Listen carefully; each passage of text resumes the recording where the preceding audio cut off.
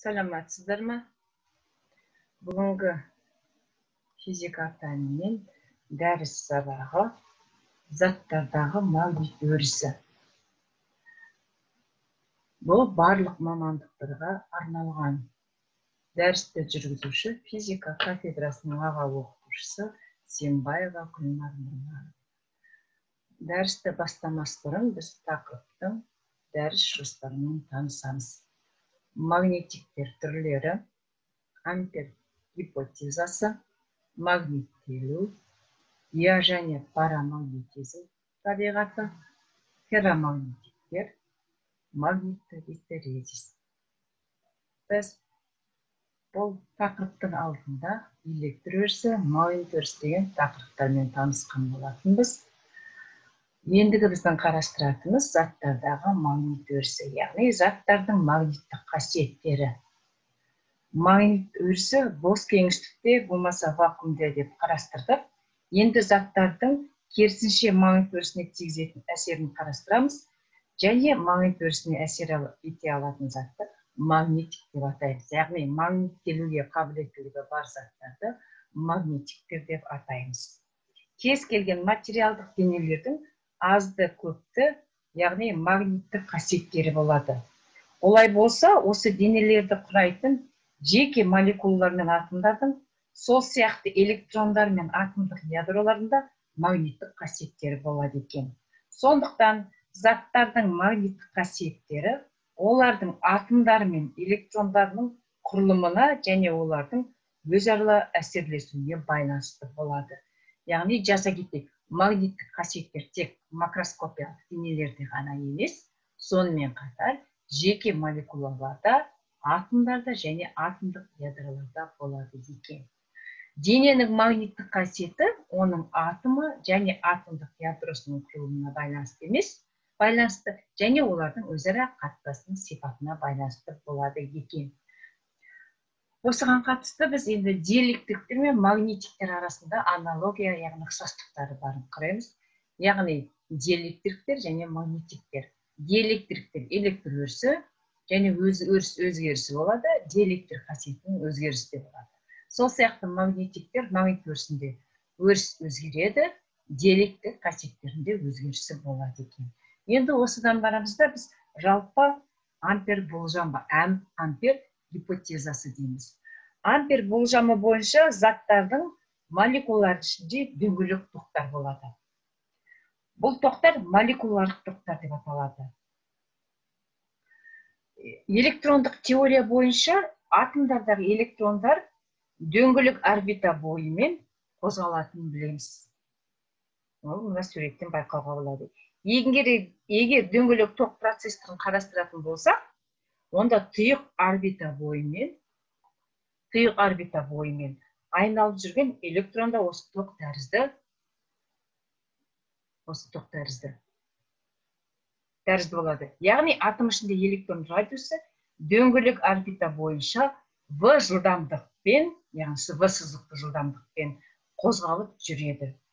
Егер электрон бір секунд уақыт ішінде n рет айналса онда орбита бойымен тасымалдаған ток зарядының шамасы да пайда болады екен. Пайда болады. Егер тоғы бар контурдың магниттік қасиетін магнит момент арқылы сипаттауға болады десек онда пм шамасы мынау пм шамасы орбиталды магниттік моменті деп аталады. Ол мына формула бойынша өрнектеледі. Енді бұндағы s дегеніміз орбитаны яғни контурдың ауданы. Дөңгелек орбита үшін осы теңдеуді біз қорыта келіп қорыта келіп соңында мына теңдеуді аламыз. Бұл электронды орбиталды магниттік моменті деп аталады. Бұндағы пміміз яғни орбиталды магнит моменті орбиталды магнит орбиталды магнит моменті электронның бағытымен яғни ә, сол сол бұрандалы жүйе құрайды екен яғни. Орбита бойымен қозғалған электронның мынадай импульс моменті болады. Яғни орбита бойынша қозғалатын электронда импульс моменті болады. Осы ә, формуладан л векторына электронның орбиталды механикалық импульс моменті деп атаймыз. Л векторы қозғалыс бағытымен оң бұранда жүйесін құрайды. Оң бұранда жүйесін құрайды. Бағытымен оң бұранда жүйесін құрайды. Сөйтіп пе мен л векторының бағыттары қарама қарсы мына екі екеуінің бағыттары бір біріне қарама қарсы болады. Осыдан алдыңғы теңдеумен мына теңдеумен алдымыздағы қайда кетті. Мына теңдеуді біз байланыстыра келіп байланыстыра келіп так байланыстыра келіп байланыстыра келіп мына теңдеуді алып шығамыз. Бұл дегеніміз бұл қатынас дегеніміз бұл қатынас гидромагниттік қатынас деп аталады. Мұндағы минус таңбасы моменттер бағытының қарама қарсы екендігін көрсетеді. Яғни элементарлы бөлшектің магнит моментінің оның механикалық моментіне қатынасын геромагниттік қатынас деп атайды. Яғни электронның орбиталдық орбиталдық қозғалысы үшін. Осыдан магнит моменті мен механик момент арасындағы байланысты байқаймыз.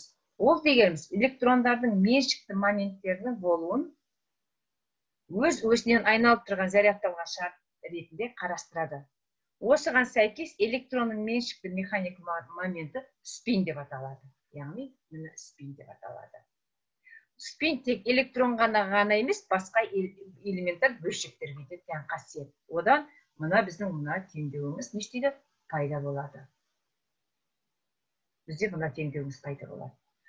Енді мұндағы жиымыздың өзі мынаған тең болса осыны қорыта келе бір соңында соңында механикалық моменттің спині спині мынаған тең деп аламыз. Бұл дегеніміз нені береді? Атомның магнит моменті оның құрамына енетін электрондардың орбиталды және меншікті моменттерінен сондай ақ ядроның магниттік моменттерінен тұратынын көрсетеді. Яғни ядроның магнит моменті электрондардың моменттерінен едәуір кем болады.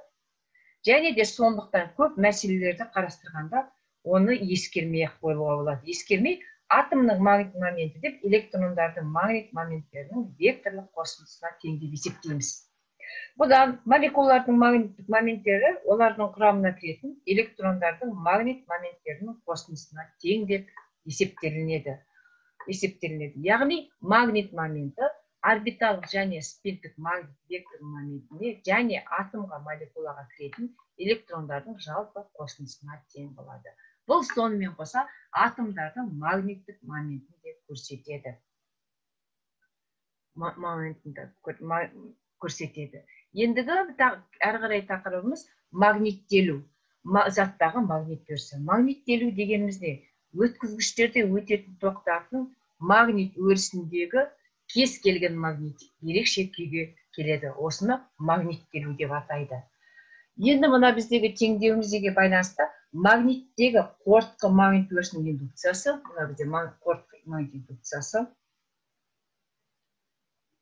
Индукциясының яғни векторы сыртқы өрістің мына сыртқы өрістің магнит индукциясымен сыртқы өрістің магнит индукциясымен микротоктардың магнит индукцияларының мына микротоктардың магнит индукцияларының қосындысына тең болады.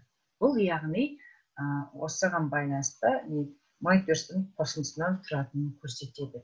Келесі ә, макроскопиялық дененің магниттік жағдайын сипатын магниттелу вектор деп атады. Ол дене көлемінің бірлік моментіне тең болады.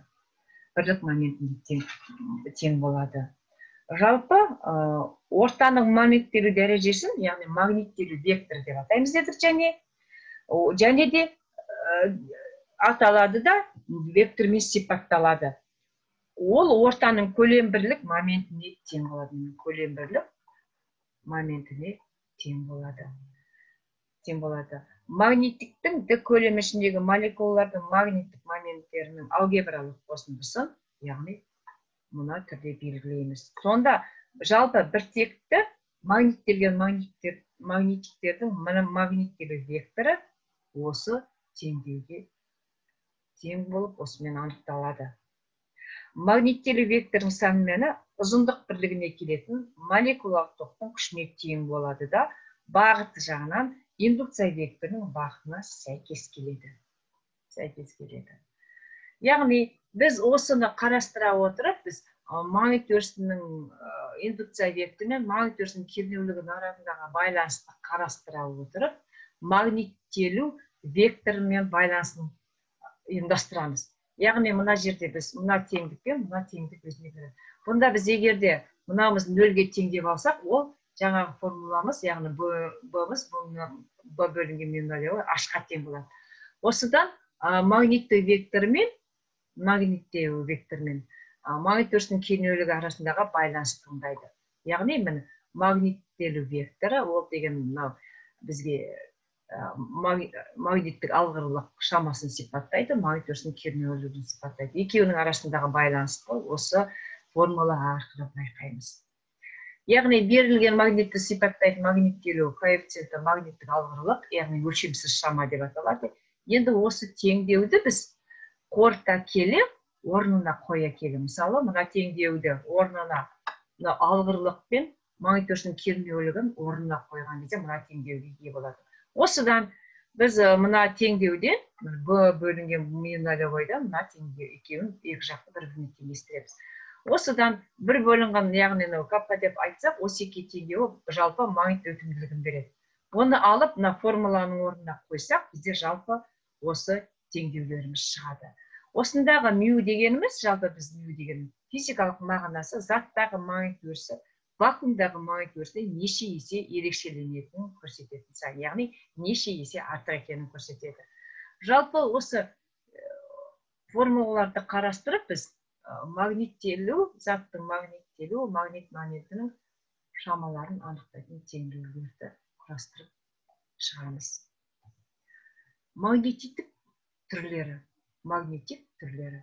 Олар парамагнетиктер диамагнетиктер ферромагнетиктер енді осы ә, магнитиктерді жеке жеке салалап айтатын болсақ жалпы қарастырып отырсақ бұнда бұнда в штрих магнит индукциясы векторы мен в нолевой магнит индукция векторы бары бір біріне яғни бағыттас екен бағыттас болса бұлардың магнит өтімділігі бірден иә магнит өтімділігі бірден үлкен немесе тең болады және де олардың алғырлығы нөлден үлкен нөлден үлкен болады яғни бұл магнит өтімділігі мен парамагниттің алғырлығы өзара бір біріне сәйкес келуге жарамды екен одан кейінгі біздің диамагнетик бұнда ә, б штрих магнит индукция векторы б нолевой магнит индукция векторы бір біріне қарама қарсы бағытталады бағытталған.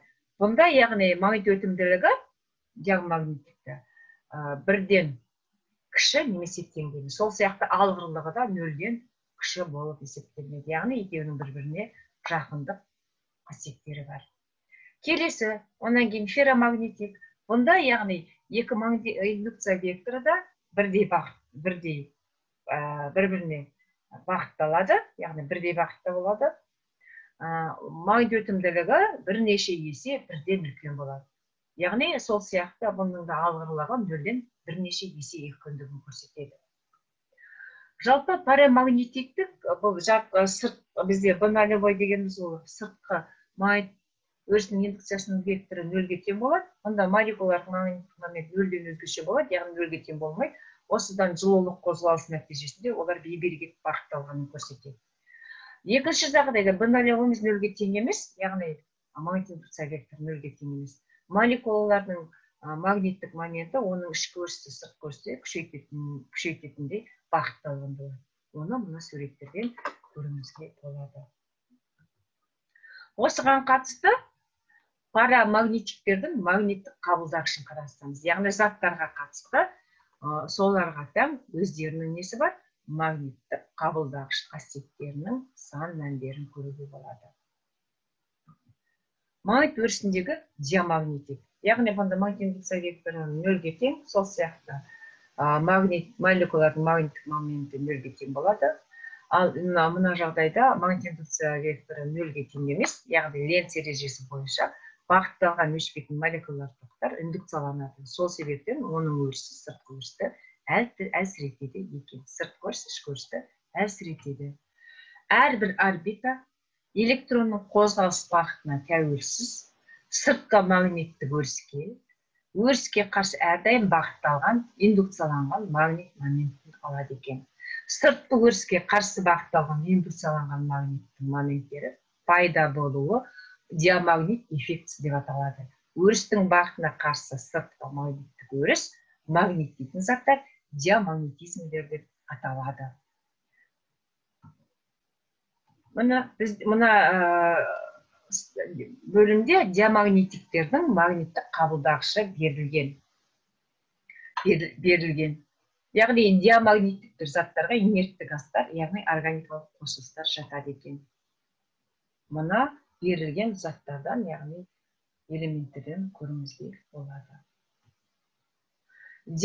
диамагнетик эффекті барлық денелерге тән және температураға тәуелді емес диамагнитті заттар инерт, инертті газдар көптеген органикалық қосылыстар болады қосылыстарға жатады парамагниттік эффекті температураға тәуелді болады. Өйткені атомдар мен молекулалардың жылулық қозғалысы сыртқы магниттік өрістегі өздерінің магниттік моментін бағытын бұзады екен.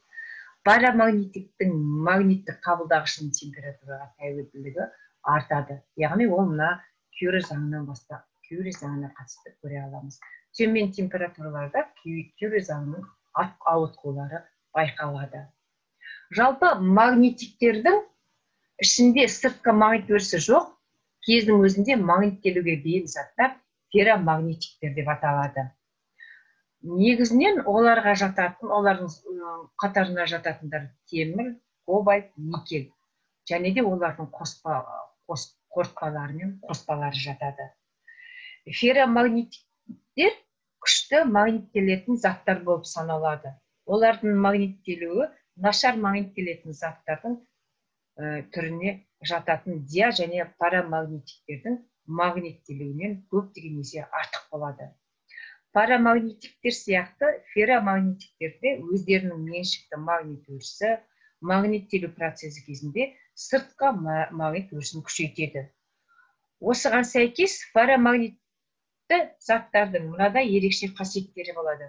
Біріншіден олардың магнит өтімділігі өте жоғары яғни мю бірден бірнеше есе үлкен болады. Екіншіден ферромагнитиктердің магниттелуі сыртқы магнит өрісін жойса да сақталады яғни олардың бойында магниттелу қалдығы болады деп қарастырамыз.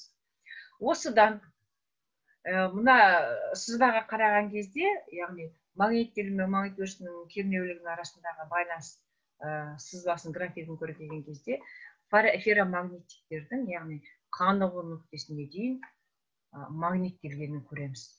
Яғни бұл әлсіз өрістерде де қанығу магниттеледі.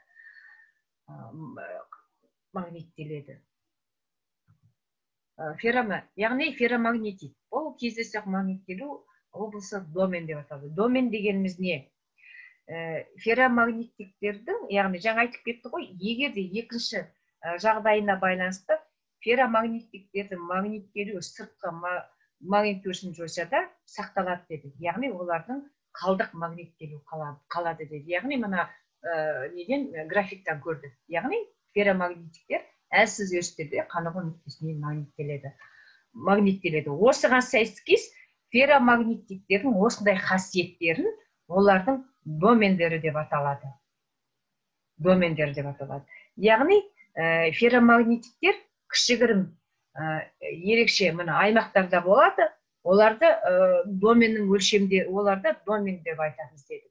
Ал домендердің өлшемдері онның минус үш дәрежесімен оның төрт оның төрт дәрежесі сантиметрге дейін жуық жуық ұсақ магнитиктер болады. Домендер өздігімен магниттелу аймағын түзе алады екен. Яғни магниттелу қасиеті бар екен. Себебі жаңа екінші жағдайындағысын айтып кеттік ферромагнитиктердің магниттелуі сыртқы магниттерін жойса да олардың бойында қалдық магниттелу қасиеті қалады екен. Сондан барып осы кездейсоқ магниттелуіне байланысты домендер пайда болады екен. Болады екен. Енді ферромагнитиктің магниттелуі жаңа домендерге қатысты. Сыртқы магнит өріс әсерінен сыртқы өріс бойында домендердің бағытталуы болады. Бізде суретімізде көрсетіп тұр өріс кернеуінің жоғарылауына байланысты өріс бойында бағытталған домендер саны өседі. Яғни өріс бойында бағытталған барлық моменттер болғанда қанығу пайда болады екен. Оны біз жаңағы мына суретімізге қатысты осы екі байланысқа қатысты көреміз. Ферромагниттіктер үшін б мен h арасындағы байланыс мынандай сипатқа ие болады. Яғни біз мынандай ары қарай ферромагниттиктердің магнит өтімділігі сыртқы өріске тәуелді. Яғни сыртқы өріске тәуелді болғандықтан ферромагниттіктер магнит өтімділігі және алғырлығы магнит өрісінің кернеулігіне байланысты болады екен.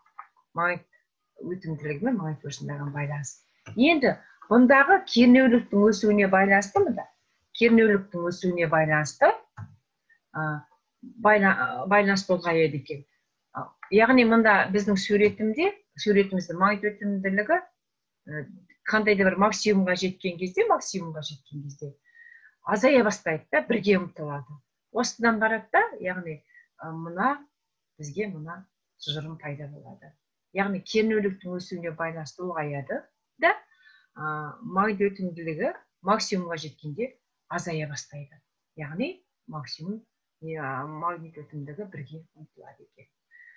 Ендігі қарастыратынымыз бізде резист тұзағы. Бұл резист тұзағы дегеніміз не ол және қалай қалыптасады. Жалпы гистерезис тұзағы бұл ферромагнитиктердің ерекше қасиеттерінің бірі болып табылады. Ферромагниттіктің магниттелуі оны магниттейтін өрістің кернеулігімен қатар бастапқы магниттелуіне тәуелді болады екен. Егер ферромагниттің қанығу нүктесі қанығу нүктесі мынау бір деп қарастырсақ осыған дейін магниттесе одан соң магниттейтін магнит өрісінің кернеулігін кемітсек магнитурсын кемітсек мынаған қатысты кемітсек онда ә, біздегі мына жиіміз яғни бір мен екінің арасындағы магниттелу магниттелу. Бір мен екі арасында қисығы жоғары бағытталады. Яғни бір мен нөлдің арасындағы мына бір мен нөлдің арасында сызғымен сипатталады екен. Егер де біздегі аш жаңағы магнит өрісі нөлге тең болғанда яғни неміз магниттелуіміз нөлге тең болмайды. Яғни ферромагниттик қалдық магниттелу байқалады екен міне қалдық магниттелу байқалады міне қалдық магниттелу байқалады. Ол екінші және бесінші нүктелерде көрінген. Магниттелуді нөлге айналдыру үшін оны туғызатын өріске қарсы яғни туғызатын өріске қарсы туғызатын өріске қарсы әсер ету қажет. Мынау мынадан мынаған қарай әсер етеді. Кернеудегі осы әсер ету кезегі осындағы аш мынау қ дегеніміз коэрцивті күш деп аталады. Яғни бұл дегеніміз қарама қарсы, өрісті әрі қарай арттырсақ ферромагнитик шамадан тыс магниттеледі екен. Осыған байланысты біз ферромагнитикке айнымалы магнит өсі әсер еткенде магниттелуі мына магниттелуі магниттелуі магниттелуі. Яғни гистерезис тұзағын құрады екен. Ол дегеніміз мына бірінші екінші үшінші төртінші бесінші алтыншы бірінші осы бізге гистерезис тұзағы болып құрылады екен. Яғни қисықтың бойымен өзгеріп отырады. Бұл дегеніміз осы ферромагнитиктердегі ерекше бір қасиеттің қасиетті тудыруы осы гистерезис тұзағы арқылы болады екен. Ферромагнитиктердің кюри температурасы. жоғарғы температурада ферромагнитик парамагнитке айналады. Себебі дененің домендік құрылымы жылулық қозғалыс әсерінен бұзылады. Әсерінен бұзылады. Бұзылады. Сол температура кюри нүктесі деп аталады. Мысалы материалымызды темір кобальт никель болса кюри температурасы осыған қатысты өз температураларының шамасын көрсетіп темірдің кюри температурасында шамасы мың қырық үшке тең болады. Кобальттың кюри температурасында шамасы шамасы мың үш жүз тоқсан үшке тең болады. Никельдің кюри температурасындағы шамасы 631-ге тең болады екен. Жаңағы айтып өткеніміз біз домендер соған қатысты міне біздің жалпы суреттер бойынша белгілі бір қалай деп айтсақ металдарға қатысты қарастырылатын сурет көруге болады енді магниттік түс қағаздар дегеніміз бұл неге болады? бұл магниттік түс қағаздарда осы магниттелу магниттік қасиетіне байланысты болады екен. Мына жерде міне қарап отырсақ түс қағаздың бір гүлін бассаңыз дейді сіз шамды жағасыз дейді. Екіншісі музыканы қосады екен. Үшінші тостерді бақылайды екен. Төртіншісі яғни бөлме жылытқышты өшіреді екен. Бұндағы магниттік түс қағаздардың сиқырлығы неде екен? Оның жұқалығында екен және зерттеушілер бұны магниттік түс қағазды жасау барысында яғни магнитикті фольганың астына жастырады екен. Ол және болаттан жасалған. Фольганы қағаз арасында қабаттап салады екен. Сонда осы магнитиктік қасиетінен әр қажетті яғни қажетті керекті гүлді басқан кездегі сондағы өзгеріске ұшырайтын несін қалай деп айтуға болады? Шамның жанғанын болмаса музыканың қосылғанын көруге болады екен. Бұның бәрі магниттелу қасиетіне байланысты екен. Магниттік қасиеттерге байланысты болады екен. Яғни бұнда зерттеушілер жаңағы магниттік бояу жағылған болаттан жасалған фольганы қолданған екен. Өзіне тән температурасын жоғарғы қыздырғанда ол өзінің ерекше қасиетін жоғалтады яғни кюрит нүктесінен екінші фазаға ауысып жүреді екен. Ферромагниттік денелер магниттелгенде олардың сызықтық өлшемдері мен көлемдері де өзгереді. Бұл құбылыс магнитострикция деп аталады. Екі магниттер аралығындағы шарттар яғни екі ортаның шекаралық шарттары. Бұл дегеніміз магниттік өтімділіктерінің шамалары әртүрлі орталардың шекараларында магнит индукциясының сызықтардың бағытын өзгертуін көрсетеді екен. Яғни өзгертеді екен яғни сынады екен. Оны біз мына сурет арқылы қарауымызға болады. Индукция сызықтардың сынуын анықтау үшін ә, яғни ә, яғни бір табаны мю бір өтімділігі бар бірінші ортада екінші магнит өтімділігі ми екі ми екі ортада орналасқан тік бұрышты параллелепипедтің бетіне бетінен өтетін магнит индукциясының ағынын қарастыруға болады. Онда параллелепипедтің табаны с мына параллелепипедтің табаны ауда с екінші ортадағы магнит индукция векторының нормаль құраушысы яғни в в н екі арқылы белгісек жоғарғы және төменгі табандардың ауданынан өтетін магнит ағындары мынаған тең болады. Яғни мынау мынаған тең болады бн бір қа бн екі қа тең болады. Тең болады. Параллелепипедтің биіктігі өте кіші шама деп аламыз. Оның бүйірі бетінен өтетін магнит ескерілмейді. Тұйық беттен өтетін осыдан магнит магнит ағыны нөлге тең болады. Яғни мына тұйық беттер бір біріне қарама қарсы болғандықтан ол нөлге тең болады нөлге мына екеуінің айырымы нөлге тең болады. Нөлге тең болғандықтан біз ә, мына екеуінің нөлге тең болады яғни мынау жойылып кетеді. Сонда бн екі мен бн бір өзара бір біріне тең болып қалады.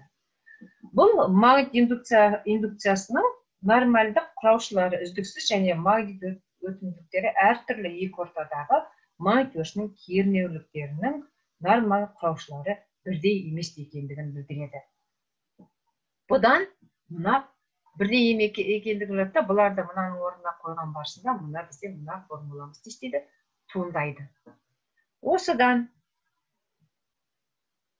ары қарай жалғастырамыз екі магниттіктер арасындағы шарттар. Яғни екі ортаны бөлетін шекарадан өткенде екі бөліктерден өткенде.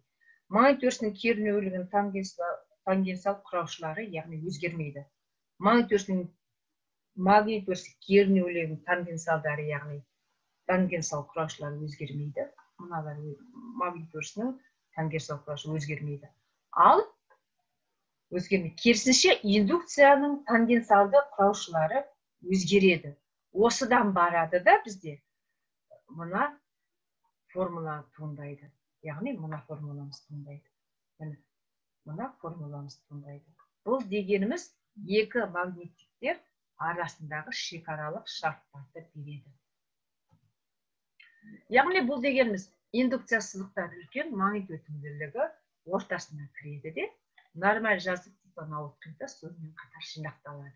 Осыны көрсетеді. Бұдан біз мынандай тұжырымға келеміз. Осы мына қатынаспен мына қатынаспен яғни так мына қатынаспен. Мына берілген мына қатынаспен мына қатынаспен. Мына екі қатынас бірігіп кез келген жағдайда орындалып магнит өрісінің шекаралық шарттарын өрнектейді екен.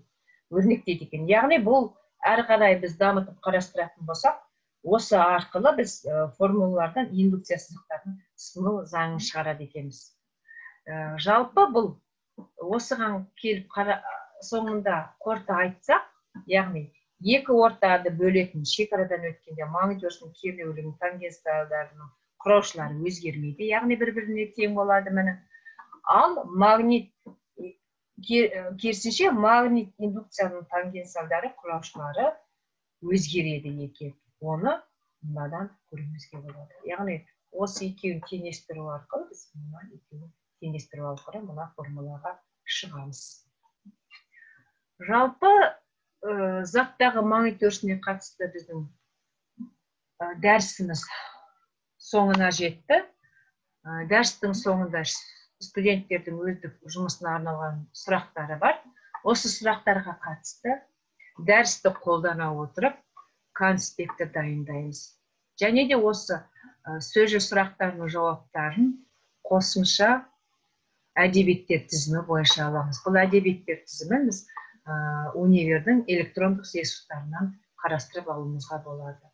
Жалпы сондағы бұндағы біздің бүгінгі дәрісте айта, кет, айта кеткен негізгі мәліметтеріміз магнит өрісінде магнит өрісі яғни оның ішіндегі заттағы магнит өрісі жалпы заттағы магнит өрісі ә, нені, нені тұжырымдайды? Заттағы магнит өрісі жалпы біз негізінде нені ғана қарастырамыз қалай деп айтсақ екен жалпы магнит өрісі бос кеңістікте вакуумда ғана болады деп қарастырдық ал енді біз бұл, осы дәрісті оқи келе яғни дәрісті оқып осы магнит өрісін біле келе біз магнит өрісі керісінше ол заттарға да әсер ететінін көреміз. Яғни заттардағы магнит қасиеттерін білдік заттардағы магнит қасиеттерін білдік яғни бұндағы біздің бар жалпы сонымен қарастырамыз. Ә, ампердің болжамына байланысты қарастырдық.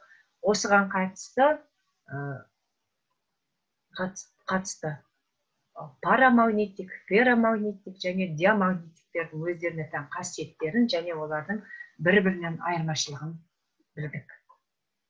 Жалпы бүгінгі біздің тақырыбымыз соңына жетті. Назар салып тыңдағандарыңызға نخندید